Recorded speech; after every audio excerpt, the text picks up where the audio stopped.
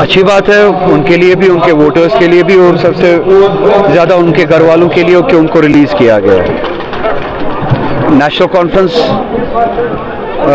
लोगों के सामने है नेशनल कॉन्फ्रेंस का एजेंडा लोगों के सामने है। हमारा रास्ता लोगों के सामने हम बीजेपी के साथ लड़ रहे बीजेपी के फैसलों के साथ लड़ रहे जो हम पे थोपा गया जो फैसले हम पे थोपे गए 370 के ज़रिए जो हमसे हमारी शनाख्त, इज़्ज़त, वक़ार हकूक़ हमसे छीने गए।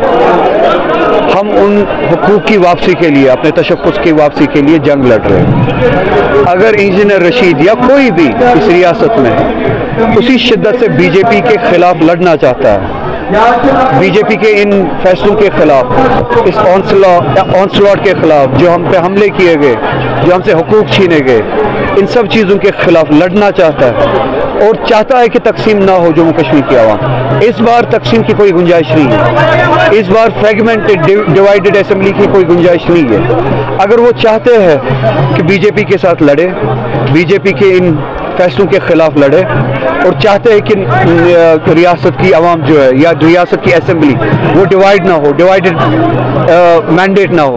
तो हम आ, उस उसका इस्तेबाल करना चाहेंगे।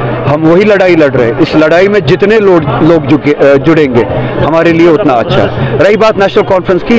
लोगों के सामने है लोगों की मोहब्बत मिल रही है। यकीन है मुझे कि इन रहमान नेशनल कॉन्फ्रेंस अपना मैंडेट लेके असेंबली में जाए सेंटर बहुत सारी कोशिशें यहाँ पे कर रही है। सेंटर ने बहुत सारे यहाँ पे एक्सपेरिमेंट्स किए। अभी भी कर रहे हैं। अब सेंटर इंजीनियर रशीद के ज़रिए क्या चाहती है क्या नहीं चाहती है मुझे नहीं पता। इंजीनियर रशीद क्या चाहते हैं मैं वो उस, उस, उस सवाल का जवाब चाहता हूँ। वो पता चलेगा।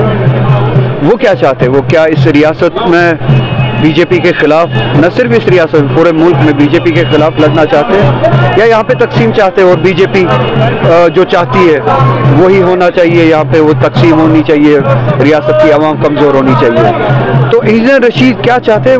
वो अहम है। बीजेपी क्या चाहती है, वो पता चले। तो ज़ाहिर सी बात है, पता है कि ये शख्स और इस तरह की जमातें जो है, वो दिल्ली की इशारों पर काम ये मशहूर है यहाँ पे कि दिल्ली की एजेंसी उसकी एजेंसीज के साय में यहाँ पे काम करते हैं। तो ये इस तरह की सौदाबाजी की बातें ये कर सकते हैं और इनको जिस तरह की डायरेक्शन वहाँ से मिलेंगी वही बातें करेंगे। मगर आवाम जो है वो अपने हकूक़ के साथ कोई सौदा नहीं कर सकती है नहीं करना चाहती अपने इज़्ज़त के साथ कोई सौदा नहीं करना चाहती और इस बार वो इन एजेंसीज़ के एजेंटों को एज, एजेंसीज़ के पैदावारों को जमहूरी तौर तौर से जवाब देंगे।